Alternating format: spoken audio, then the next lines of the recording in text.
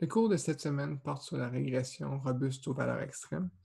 Donc, euh, dans les modèles linéaires classiques, quand on estimait les effets, les coefficients de ces modèles, on, comparait dans le fond la moyenne entre euh, certains groupes, entre certaines valeurs de prédicteurs, et l'incertitude de ces coefficients était basée sur la variance résiduelle.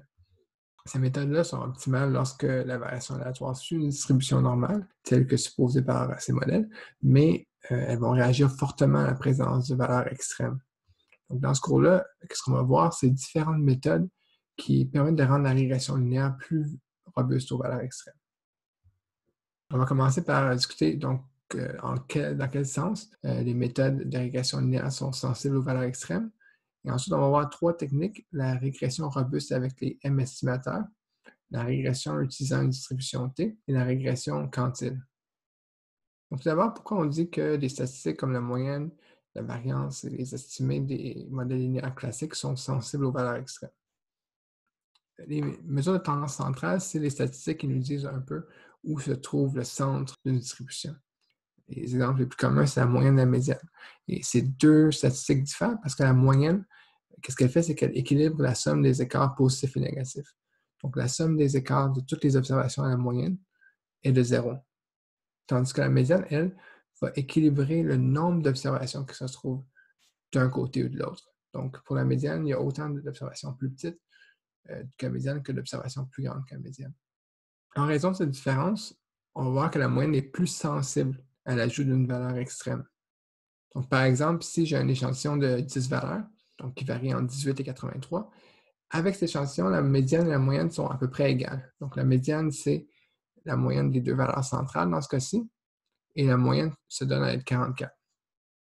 Si j'ajoute une valeur extrême à droite de cet échantillon, c'est-à-dire une valeur très élevée de 580, qu'est-ce qu'on remarque, c'est que la médiane va seulement se déplacer ici à 44, qui est maintenant la valeur centrale, mais la moyenne, elle, va augmenter jusqu'à 93. Donc la moyenne ne ressemble plus vraiment à une observation typique de l'échantillon.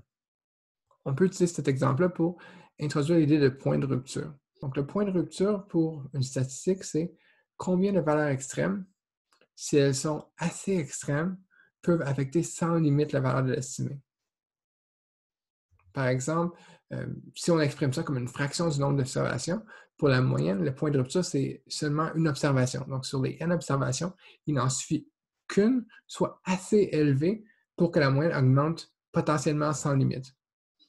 Tandis que pour la médiane, si on avait ajouté une observation à un bout de notre distribution, peu importe si c'était de 100, de 1000, de 10 000, ça aurait été la même augmentation de la médiane. En fait, pour faire augmenter la médiane sans limite, il faut ajouter 50% d'observations extrêmes.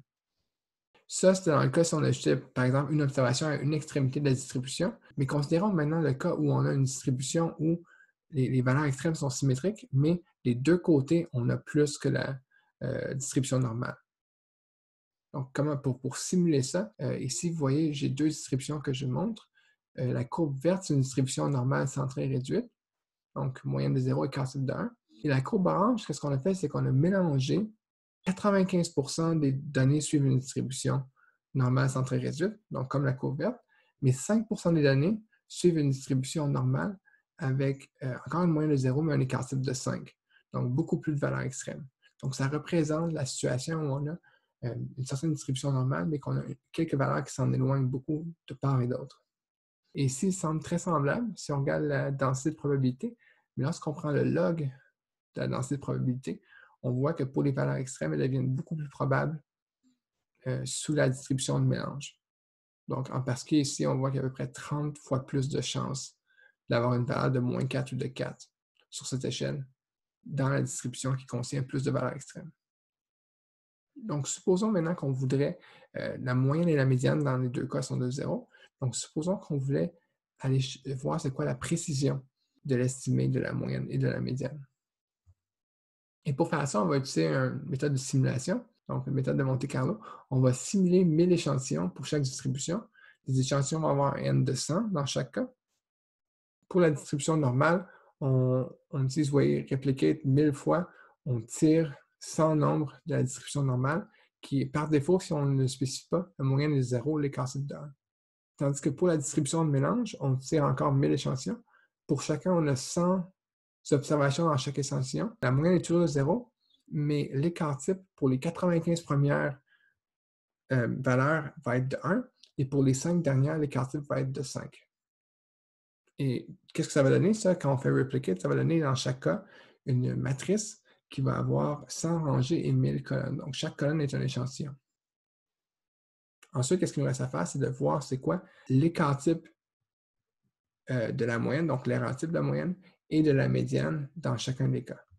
Comment on fait ça? C'est par exemple, on va faire euh, apply sur chaque colonne du résultat ici des échantillons de la distribution normale et on fait la moyenne.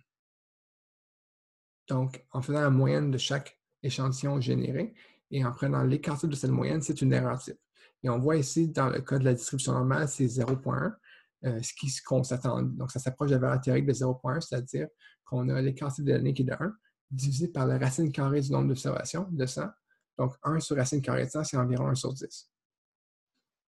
Mais si on prend la distribution de mélange, euh, en contaminant cette distribution normale avec seulement 5% d'observations extrêmes, on fait monter l'erreur type jusqu'à 0,15, donc une augmentation de 50% de l'erreur type. C'est quand même important. Du côté de la médiane, on, voit qu'avec la distribution normale, la médiane n'est pas estimée de façon aussi précise que la moyenne. On est à peu près à 0,12 plutôt que 0,1. Mais la médiane est plus robuste aux valeurs extrêmes. Donc, quand on ajoute des valeurs extrêmes, la précision de l'estimé de la médiane n'augmente pas beaucoup. Donc, maintenant, elle est rendue plus précise que la moyenne. Qu'est-ce que ça veut dire concrètement? C'est que supposons qu'on compare deux groupes euh, qui diffèrent par leur moyenne et leur médiane, et que dans chacun des cas, la distribution est symétrique, donc la moyenne est égale à la médiane. On pourrait comparer les moyennes ou comparer les médianes pour voir s'il y a des différences entre les groupes. Si on a une distribution normale, on, va avoir plus de puissance, plus de facilité à détecter une différence significative si on compare les moyennes. C'est ce qu'un test T classique fait. Mais en présence de valeurs extrêmes, euh, il serait plus facile de détecter une différence entre les médianes en fait. Donc, plus tard dans le cours, on va voir les M estimateurs. Et, ces estimateurs-là, dans le fond, c'est des mesures de temps centrale qui sont un peu un compromis entre la moyenne et la médiane. C'est-à-dire qu'on veut approcher de l'efficacité de la moyenne si la distribution est en effet normale, mais en présence de valeurs extrêmes, euh, être plus robuste, euh, donc un peu plus comme la médiane.